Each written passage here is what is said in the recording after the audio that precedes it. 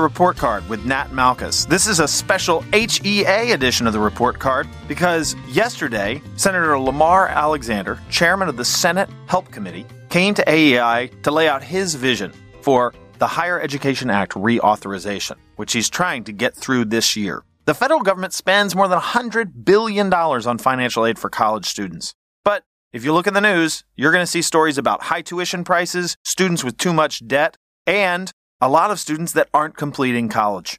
Increasingly, both parties recognize we need higher ed reform.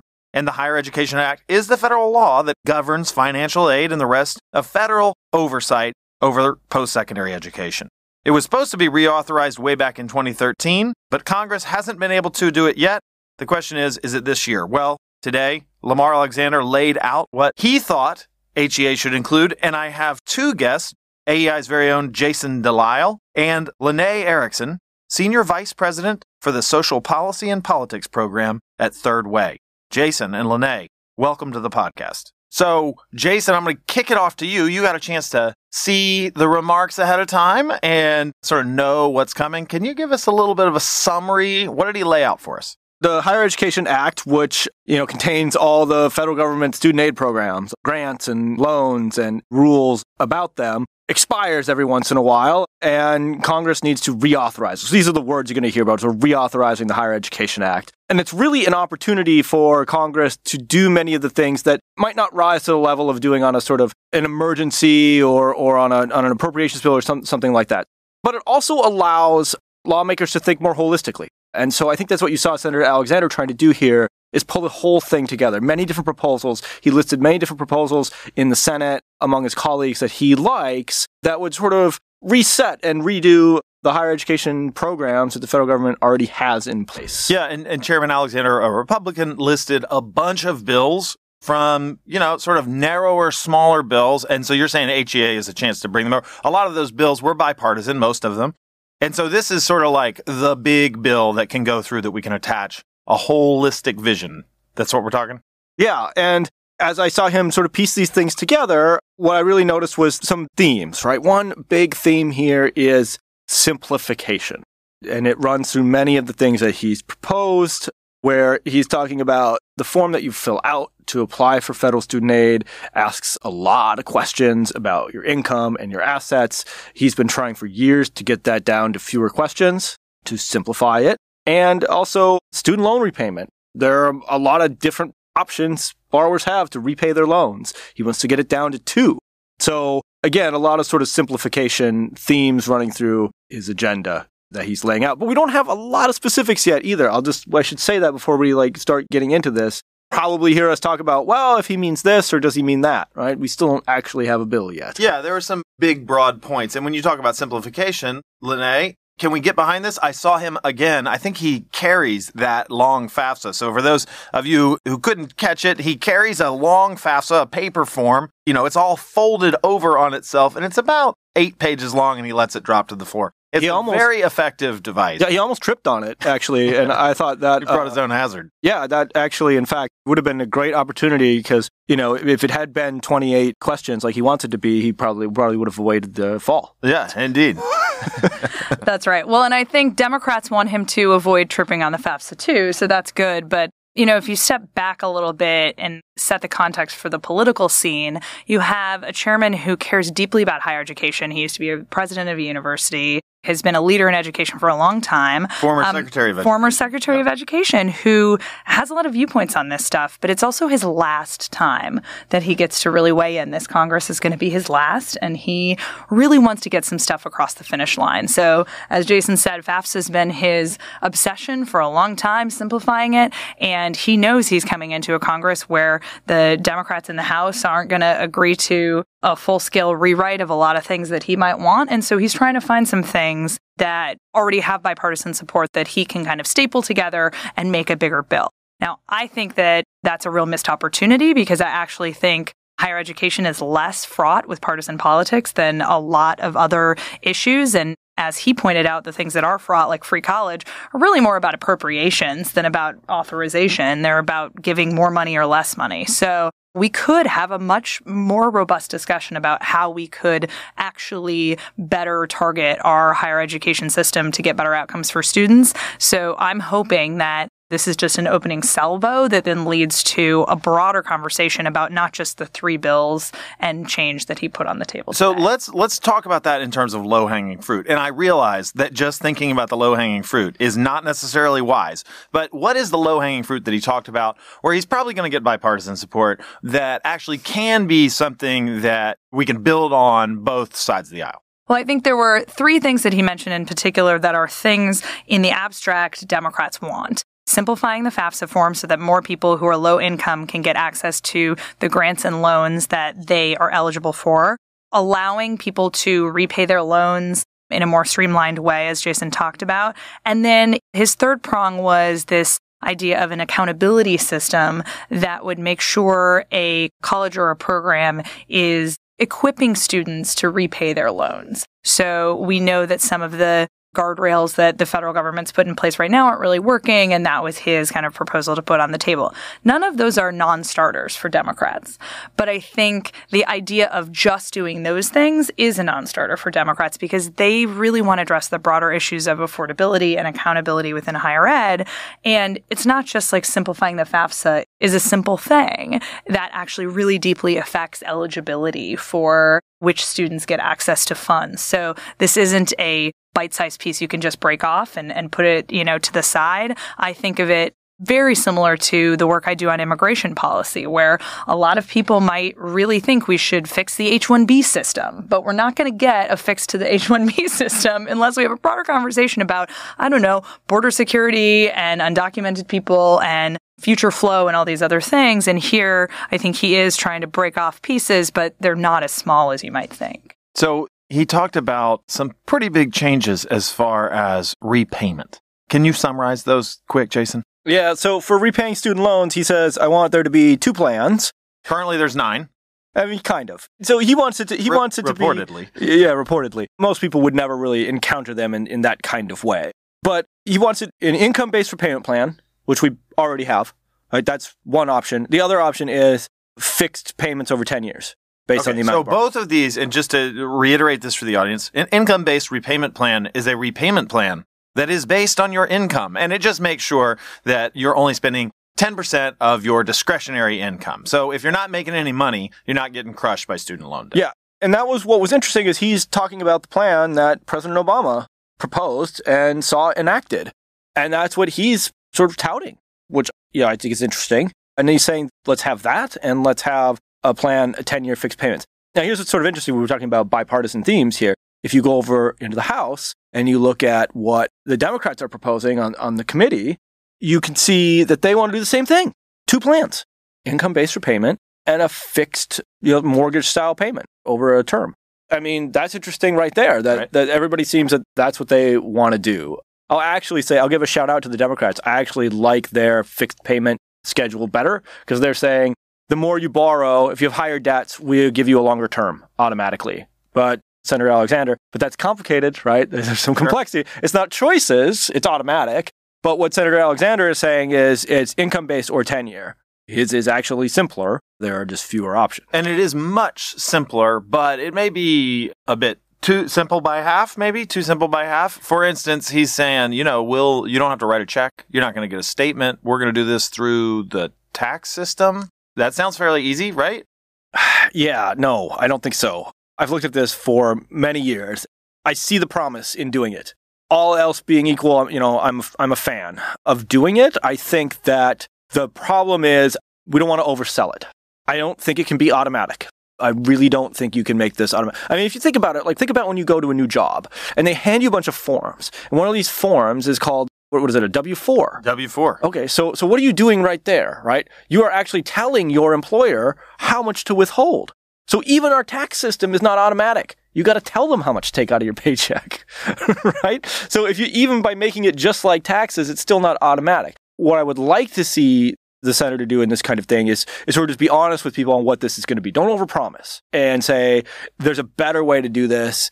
There's going to be, you know, it's not going to be perfect, but I think on net it's going to be better. Well, you know, I think Alexander just wants to trim the FAFSA and triple the length of the W four, and you know we're sort of balanced out, right? Yeah. That's all. It's not that bad. Uh, that's why. That's why you didn't interview him. Okay, so he wants to simplify the FAFSA. He wants to change the repayment system. He's got one more big leg, and that is gainful for all. Is that what they called it? Yeah. So you heard this gainful for all. All right, tell us what gainful, So uh, the gainful, employment. Well, Lanae, Lanae's totally up to speed. okay, so Lanae, for the audience who may not be familiar, what is gainful for all, gainful employment rule?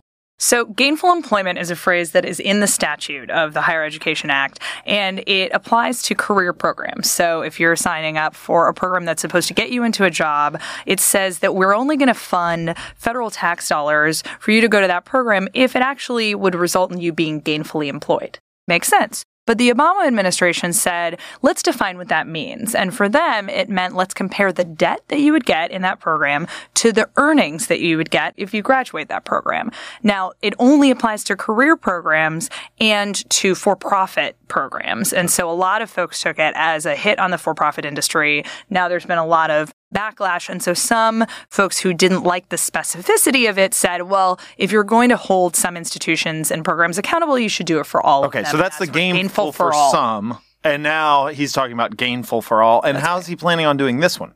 Well, his proposal is that you actually look at repayment rates, loan repayment, whether a student can repay a loan from a program because you're thinking, well, if they can repay that loan, then they probably can make enough money and that should be sufficient. And also the loan is really what the taxpayer should be concerned about because we want it to be paid back. So that's the federal nexus to care about this in the first place. But the combination of doing that with these kinds of programs that we've talked about that put you into income based repayment means lots and lots of people are going to be quote unquote repaying their loans, even if they're paying zero dollars on oh, their right, right. loans. So, it, so, if this you put could it have together, it might be not so much accountability worked. as you might So it could have worked under the old system, but when you change two things, your new system doesn't work. Is that Well, right? not necessarily. The current system says if, if people default, they go a long time without making any payment. We don't know their income. We don't know their situation. We just know they don't pay.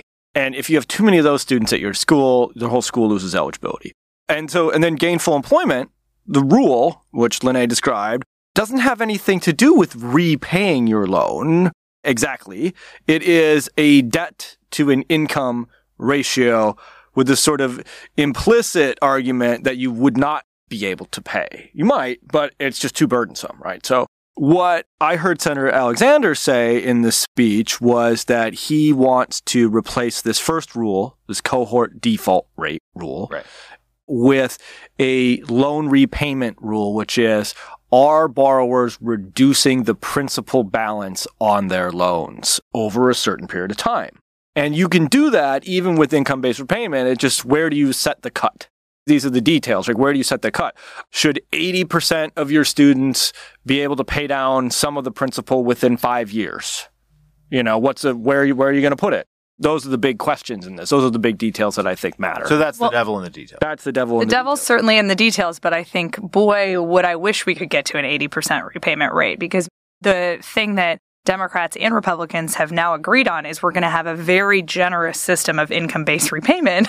So most students aren't actually repaying a dollar on their principal in the first five years. Now, we don't have all of the data to know that, and I wish that we could model every single program. But it does complicate it because we've said if you're not making enough money, then you don't have to pay your loans. Well, that means a lot of people aren't actually paying more than their interest that's accruing. Their balance is growing. You know, under the current system, they might get those loans forgiven later, but it's not actually going to sync well with using this repayment measure if we continue kind of down the current path. But as far as in the secretary's defense, seems like there is some measure where schools would have some skin in the game here to say, okay, well, this program is not producing enough income vis-a-vis the debt that kids get. So that, you know, that's the old gainful rule. The new one is that we're just not paying it off, whatever. The point being that it would put pressure on schools to kind of bring down the costs and not just in a broad way, but in a targeted way.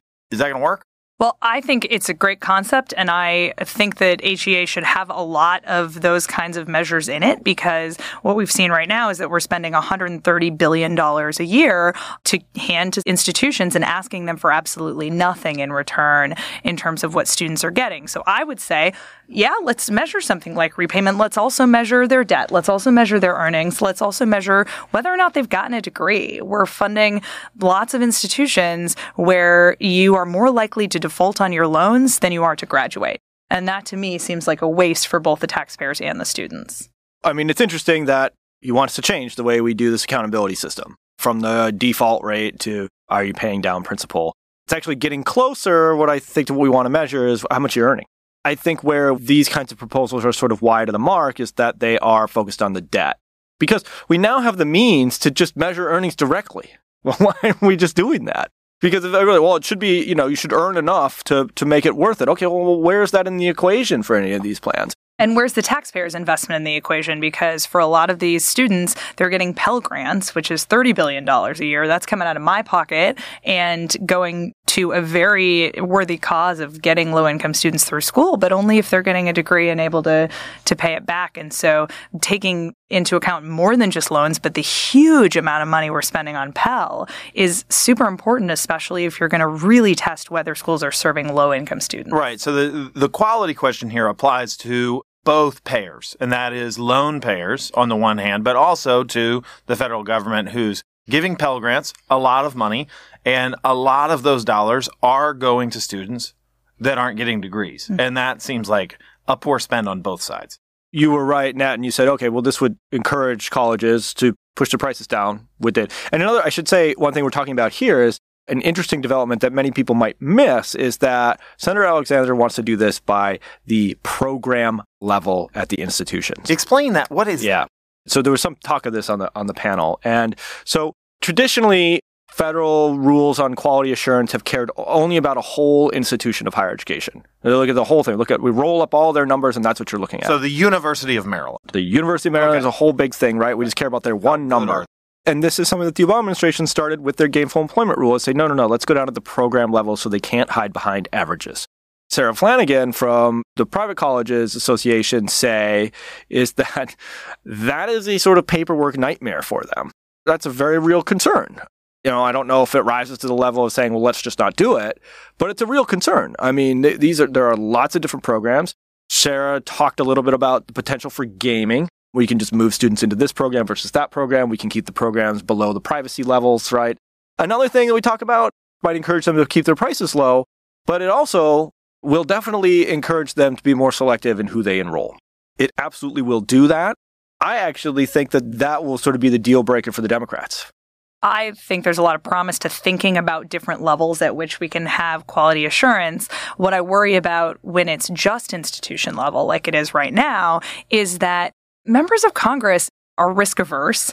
They're very, very tied to the higher education industry. And so the kinds of accountability we have right now, we don't actually use them. Someone will step in and say, I know that you have all these students defaulting, but I really like this school. It was my alma mater or it's in my neighborhood. And so I'm going to save it, which is what happened to a community college in San Francisco because Nancy Pelosi decided that that was her neighborhood school, even though everybody agreed it wasn't serving students well. So I think the other benefit to thinking about different levels is maybe there's some graduated sanctions you can have. Instead of saying, we're going to shut down this school by taking away all of Title IV access, you can say, mm, that program's not great. You have to shut that one down. Does that mean you have to be more responsive to student needs and employer needs and things like that?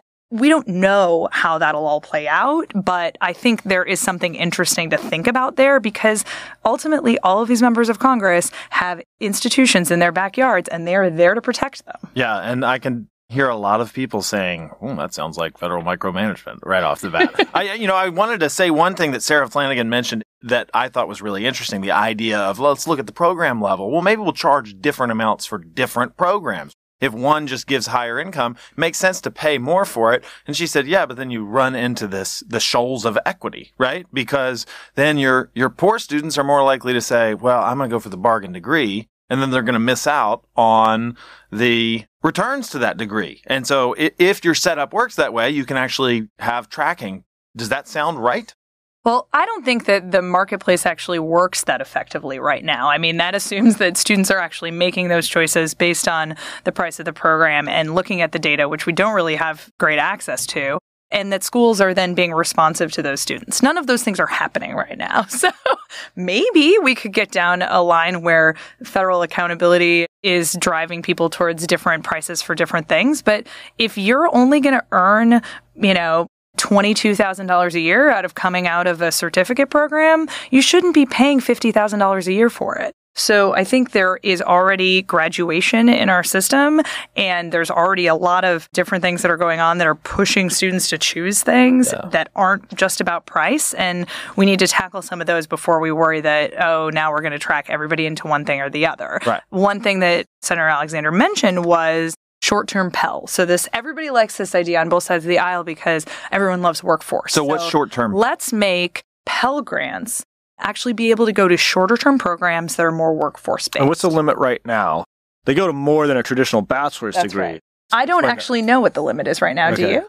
Nope. I was hoping you did. I uh, certainly don't. But, this is something like shorter than even a like than like six months. Right. We're talking about eight week programs for coding camps or something like that, right? And the idea is, oh, then more people get directly into the workforce. Well, if you don't put any kind of backstop on that or guardrails for quality, you're going to have huge for profit saying, Hey, you know, it's really cheap. I'm going to do an eight week coding class. Cheap on my end. I'm going to charge a lot of money to these students. And then all of a sudden, you know, I have a new way of bringing in income that actually would be a really smart thing for them to do if we open up something like short term Pell. So I think you have to think about these kind of bipartisan proposals that might have some support on both sides of the aisle because they're politically popular from a little bit of a deeper lens of what are we actually incentivizing in our in our system. Okay, so let's run this out with a couple of minutes on what's not in Alexander's comments. Like what yeah. should have been in there that didn't make the cut.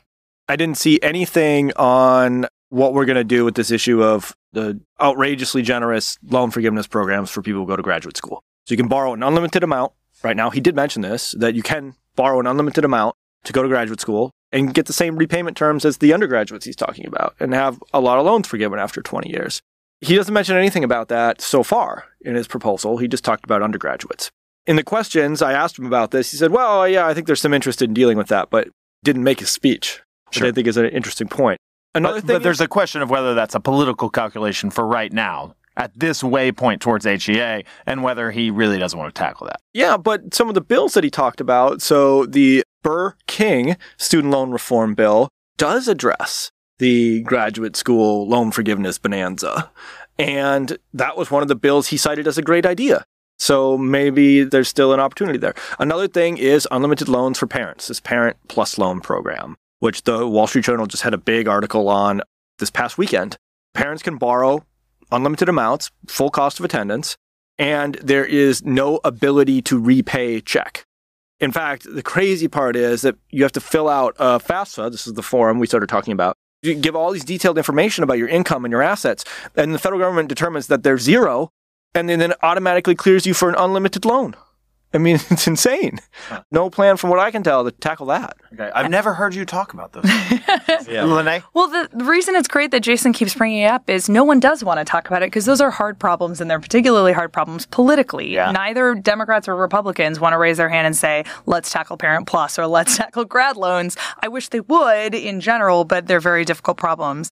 One thing that people do like to talk about that I heard very little about from Senator Alexander was affordability. And I do think there's going to need to be more of a discussion of money and investment if you're going to get Democrats on board for anything on higher education one of the audience members asked about the maintenance of effort provisions in other laws that says you can't take some federal money and then just stop putting your own money into it if you're a state. Right. Higher education doesn't have that. And what we've seen is that states are just disinvesting, disinvesting, disinvesting because they have to balance their budgets. And when they have maintenance of effort on everything else, they have to keep those things going. They take it from higher ed. And that's a huge problem that we, I think, are going to need to tackle in this HEA.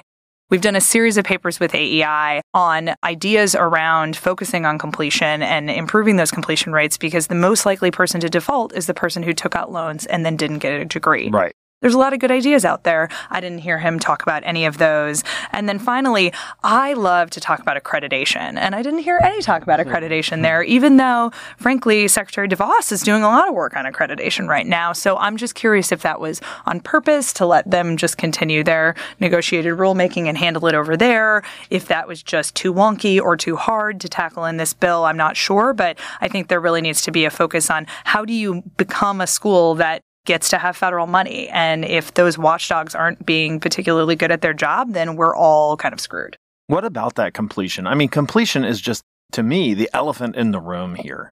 Is it because it's just too hard for Congress to affect? Is it because the institutions don't want to be messed with? I mean, where's the rub?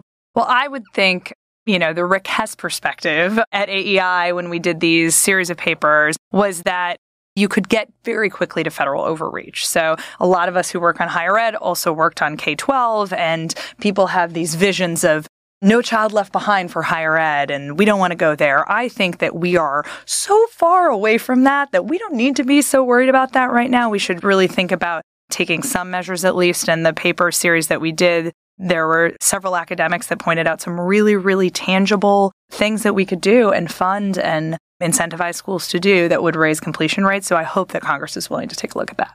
We'll see. We've got the bill going to conference in the spring, going to the House in the fall. Yeah, and me, it's going to be another Christmas miracle just like SI. Well, right? well, let me just add one thing I asked Senator Alexander. is I said, Are you envisioning just big increase in spending in this bill on higher ed, or is this budget neutral? What are you aiming for? And he said, Oh, budget neutral.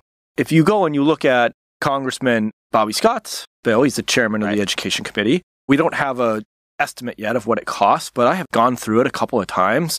I mean, it's going to be 50, 60 billion a year in new spending. And so, I mean, zero versus 56 billion a year is quite a gap that's to close. A gap. That's right? Gap. So that's a major issue. Well, and there are some places that you could take the money from, but a lot of those places have very, very highly paid lobbyists that'll make sure you don't do it. Well, we'll figure it out by this summer, I'm sure. Lanae, Jason, thanks for coming on the report card. Anytime. Thanks for listening to this special HEA edition of the report card with Nat Malkus. We'd like to thank Senator Alexander for coming to AEI and giving his keynote on his vision for HEA. And of course, special thanks to our guests, Jason Delisle and Lanae Erickson, for talking about it. This podcast wouldn't be possible without our fantastic team of producers. That includes Sophia Gallo, Cody Christensen, Macy Heath, and Gage Hurley. Remember, if you like this episode, search for us, The Report Card, on Apple Podcasts, Google, Stitcher, whatever your favorite podcast player is. And if you enjoyed it, don't forget to rate or review us on iTunes or Google. If you have any comments, questions, or topic suggestions for future episodes, you can reach us at ed.podcast at aei.org. And until next time, I'm Nat Malkus.